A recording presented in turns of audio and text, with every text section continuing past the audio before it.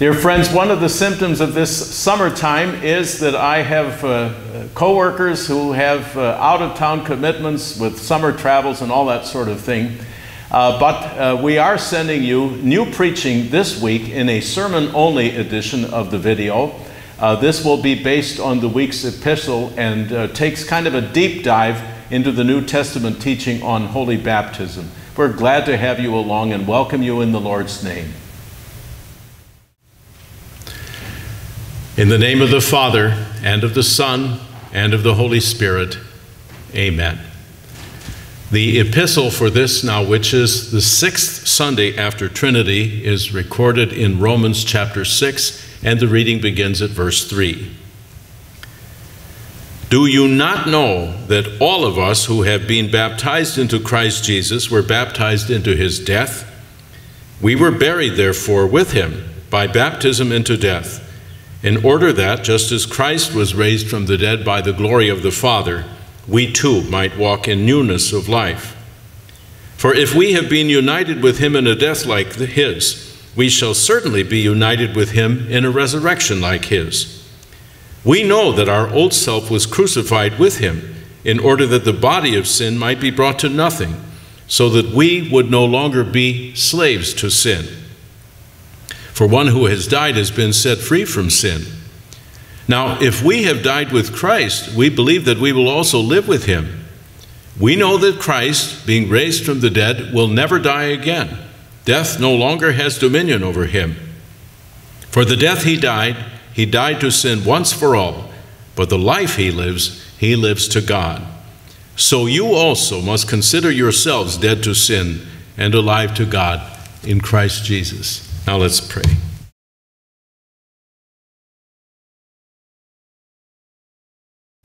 Lord, set our feet on solid ground and let your words go with us in all our ways. From the rising of the sun to the place where it sets, may your name, O Lord, be praised. Amen. In the holy name of Jesus, my dear friends far and wide, our father Martin Luther invited Christians to draw the sign of the cross over their bodies, both morning and evening when you were getting ready to pray. That can remind you of the first time that the pastor ever drew that sign over you in public, likely on the day when you were baptized. We keep drawing that sign over you, you may have noticed. For example, on the day uh, when young people Uh, stand up in front of the congregation and make vows of faithfulness and get confirmed. Or we draw that sign every time after we dismiss people, sharing the body and blood of the Lord Jesus at the Lord's table.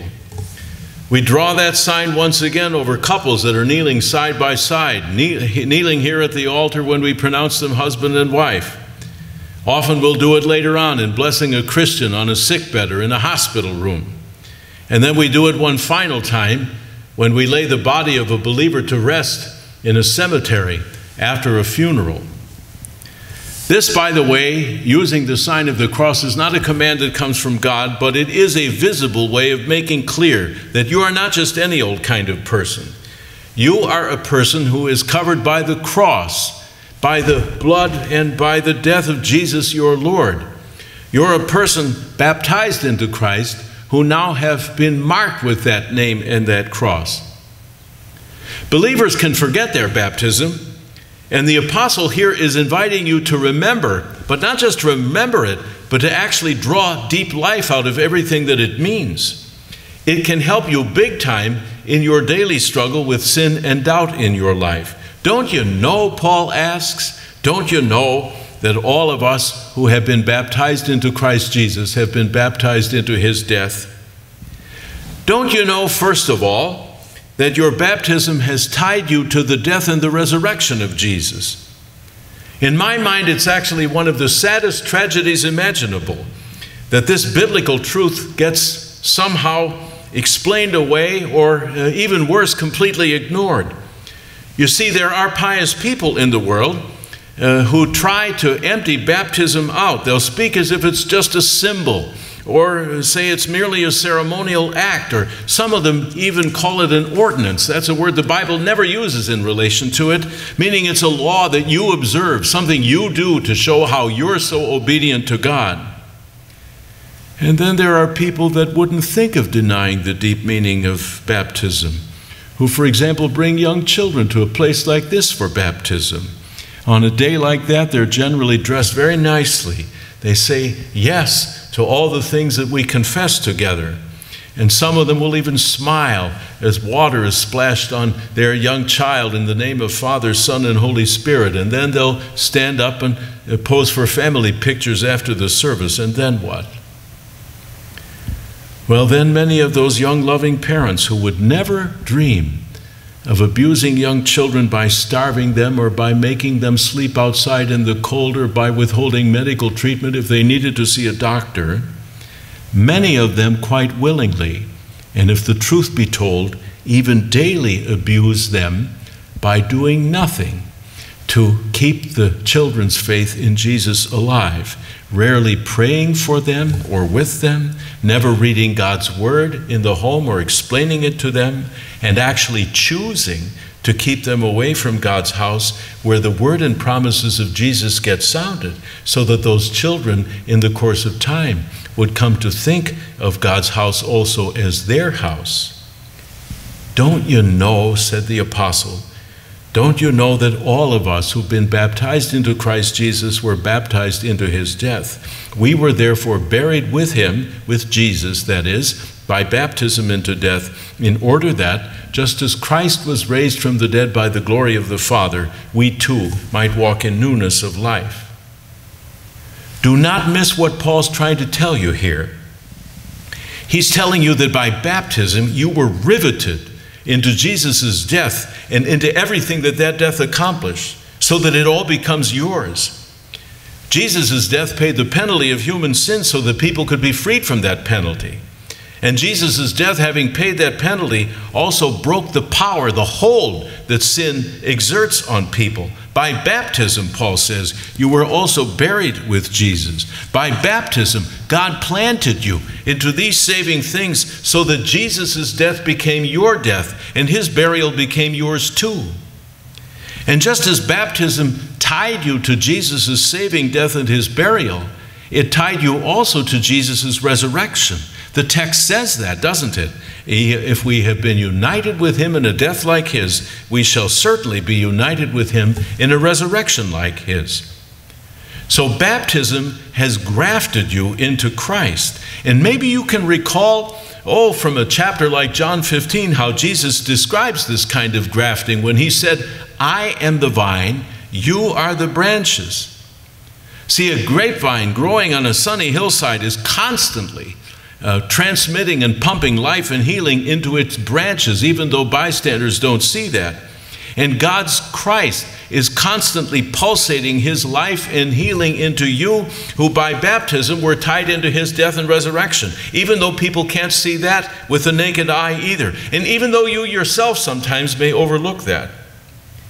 This union with the crucified and resurrected Jesus has very potent practical meaning for your life every day. Don't you know, Paul is asking, that now you're set free from sin? First of all, let me make clear right out of the chute what that does not mean. It does not mean that you somehow magically have become sinless. I'm sure that you remember some of the very basic uh, Bible words that we've all been taught as Paul himself said earlier in this letter to the Romans, all have sinned and fall short of the glory of God. And maybe some of you remember also John's teaching on this matter. If we say we have no sin, we deceive ourselves and the truth is not in us. So when the Bible here in Romans 6 declares that you're set free from sin, it doesn't mean that you become sinless. You know very well that time and again you slip and fall into words and thoughts and actions that run contrary to God's will. That's why John told his friends, if anyone sins, we have an advocate with the Father, Jesus Christ the righteous. He said that because he knew that that was going to happen in people's lives in this fallen world. It happens in your life. And when it does happen, You've got this advocate, this defender that you can run to for help, God's Christ. So I want to say it again. Paul's teaching that through baptism you are set free from sin does not mean that you are sinless, and it doesn't mean that you'll no longer fall or slip into sin sometimes. It does mean that sin cannot rule over you anymore. The text puts it like this We know that our old self was crucified with Jesus in order that the body of sin might be brought to nothing, so that we would no longer be slaves to sin. There's another place it's Colossians, I guess, where Paul says the same kind of thing in other words. He says, The Father has delivered us from the dominion of darkness and transferred us into the kingdom of the Son he loves. My dear baptized sons and daughters of God, clinging to Jesus in faith and trust, you're not in sin's kingdom anymore. Yes, you struggle with individual acts of sin. And yes, you may slip and fall into this or that sin at a moment of weakness, but sin as a ruling force can no longer make you its slave. Yes, your body of sin still tugs at you. It still tries many times to take advantage of your personal weaknesses, whether yours is greed, let's say, in other words, too much attachment to things and possesses, possessions rather, or whether it's something like pride and the drive to just look too impressive or too successful in the eyes of other people. Whether it's complaining and gossip, you know, the tendency to be spouting a lot of ungrateful words or to badmouth other people, especially when they're not around. Or your uh, weakness might be doubt and despair. Uh, so the pull is there to stop trusting in God and to give into hopelessness. And by the way, that's a very abbreviated list. Those kinds of things and many, many others besides rise up from this body of sin. And what they would really like to do is to pry you totally away from Christ and estrange you from other people. But the body of sin is in the process now of being brought to nothing. When you die and your mortal remains decay on your way toward being made new in the resurrection, that body of sin will have been completely brought to nothing. But already now, as a baptized believer in Christ, the body of sin is gradually losing its grip on you, unless, of course, you choose to go along with it. Jesus even said that, didn't he? If the Son sets you free, you'll be free indeed. Paul said it once to the Philippians I can do all things through Christ who strengthens me. David said it already in the Old Testament in the 18th Psalm By my God, I can leap over a wall. In other words, I can do what looks totally impossible. So the blessing imparted to you in your baptism has set your feet onto a wondrous path. Don't you know, Paul is asking?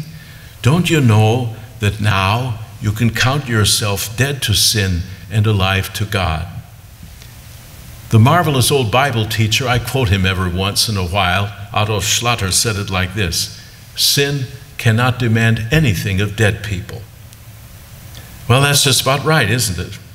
People who gossiped a lot or who drank too much or who were hot tempered, if you would provoke them, they don't respond to any of those pulls once they're dead. And if you don't believe this, you can go down to the local funeral home and start whispering provocative things into the ear of somebody lying in a casket, and you'll find out they won't answer. We're told here in verse 9 we know that Christ, being raised from the dead, will never die again. Death no longer has dominion over him. Once Jesus died for our sins and came alive, sin's demands and its many pulls couldn't touch him anymore. He was free to live for God.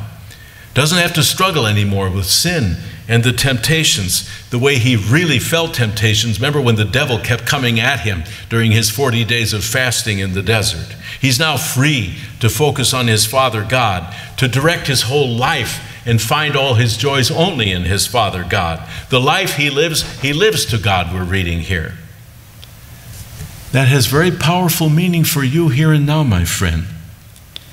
It says here, you must also consider yourselves dead to sin and alive to God in Christ Jesus. It's very crucial for you to grasp the kind of life that God is giving you to live already today. I want you to pay close attention. The idea is not well, you must renounce sin so that you will obtain Christ's life within you. No. It's the other way around. You have Christ's life in you, and so sin cannot rule you anymore. Yes, you feel it tugging at times, and yes, you can slip and fall into it, but it is liberating to know that unless you choose to go along with it, it can't rule over you any longer. You can read all about this in 2 Corinthians 5. If anyone is in Christ, he's a new creation. The old has passed away, the new has come. And note, please, it doesn't say the new is yet to come someday in the sweet by and by. No, it says the new has come, it's already arrived. And that's why St. Paul never tells you that you have to discover some new spiritual strategy or some secret in order to live a faithful life. No, he points you right back to what God already gave you and the way God already sees you when you are baptized into Christ. We were buried, therefore, with Christ by baptism into death, in order that just as Christ was raised from the dead by the glory of the Father, we too might walk in newness of life. You have that newness now, my dear baptized friend, as you cling in faith to the Christ who covered you that day with his name and with his cross. He counts you dead to sin and alive to God. And you know something? If he counts you that way, it's a liberating breath of fresh air to know you can count yourself that way too. Now, I don't want to make it sound as if struggles with sin and weakness are not real. They are, and they can sting you hard sometimes as they sting me. But as it says here, if we have died with Christ, we believe that we will also live with him. We don't see that yet with our eyes, but we believe it because God has promised it to us since the Bible tells you that you were riveted to Christ's death and his resurrection in your baptism. If you and I still struggle, and we do, it makes all the difference in the world to know that in that struggle you are wrapped and armed with the certainty of Christ's resurrection victory. Don't you know that all of us who were baptized into Christ Jesus were baptized into his death? St. Paul is right to ask just that way because you overlook and forget that reality, as I do too many times. He's right to ask it just that way, so that parents who have lost sight of it and who may actually be shaping their children to lose sight of it can find their way back into focus. He's right to ask it just that way, so that you this day can lay hold of this powerful apostolic teaching and rejoice that you are walking through life marked with the name and the cross of Christ Jesus, your Lord. Amen. May the peace of God, which passes all understanding, keep your hearts and minds in Christ Jesus. Amen.